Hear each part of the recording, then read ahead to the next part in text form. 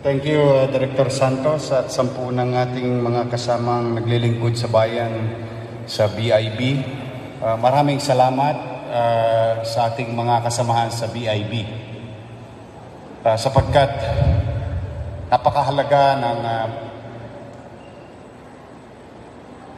responsibilidad ng ating mga Veterinary Inspection Board employees sapagkat dito umaasa ang humigit kumulang dalawang milyon na mamamayan na ating lungsod na ang mabibili nilang mga karne sa ating pamilyang bayan at iba pang pamilihan ay ligtas at na-inspeksyon.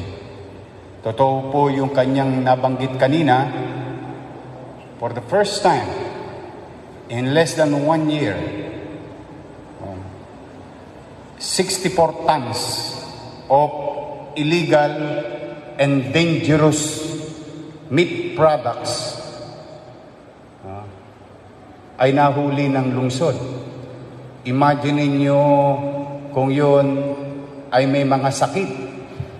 At totoo po, ilang sa mga nahuli na yon ay nagpositibo na maar, nagpositibo sa mga virus o sakit na naisasalin sa tao sa pamamarang ito'y makonsumo niya.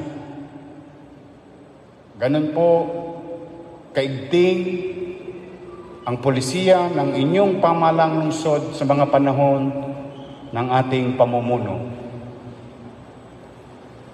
Nabigyan ng malinis at tama, maayos na makakain ang mga batang Maynila na manggagaling sa ating pamilihang bayan. Ipagpatuloy ninyo ang pagbibigay ng kasiguruhan na ang lahat ng karne na ilalatag sa Maynila ay ligtas at malinis. Matuto tayo sa leksyon ng pandemyang kinakaharap natin na nagsimula rin sa isang virus kung saan patuloy tayong nilulugmok sa usaping kalusugan at ekonomiya. Kaya hindi tayo nagkamali since July 1 of 2019 last year when we assumed the new government, new leadership in the city na unahin na maging malinis at maaliwalas ang lungsod ng Maynila. Ayan po ang resulta kapag tayo'y nagpabaya at ikipinit, ikinikipit balikat na lang natin ang kadugyutan, karumihan, na para bang yun ang normal? Ito po, nasa pandemya tayo ngayon. Dulot ng mikrobyo. Kaya sana maging takdang aral ito.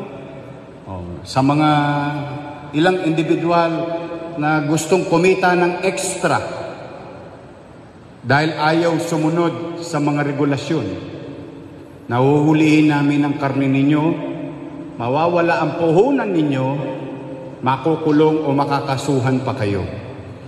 Huwag niyo yan ilatag sa Maynila.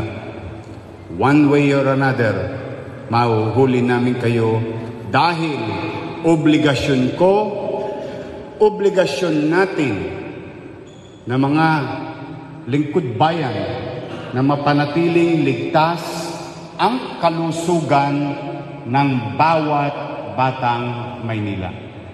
Keep up the good work, BIB. Mahirap ang trabaho natin lahat ngayon. We have to adjust to the new normal. And I hope the people of Manila who are listening, please cooperate. Samahan nyo kami tungo sa isang syudad na mayroong pag-iingat sa sarili, pagmamalasakit sa kapwa. Yan, masasabi natin, pagdating ng araw, ang bagong Maynila para sa susunod na henerasyon na mga batang Maynila. Magandang umaga, mag-ingat kayo lahat, at pagpalain nawa kayo ng pong may kapal. Manila, God first. Thank you.